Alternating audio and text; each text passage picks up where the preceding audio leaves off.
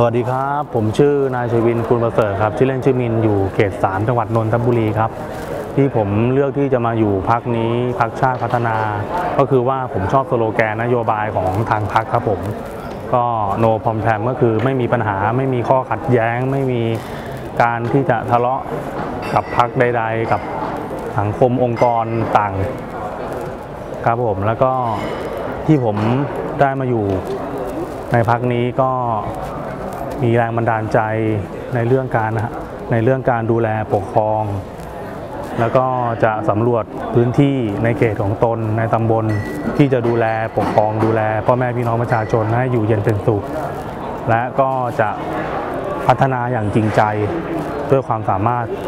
และสุจริตตรงไปตรงมาครับผมขอฝากด้วยครับ ขอบคุณครับ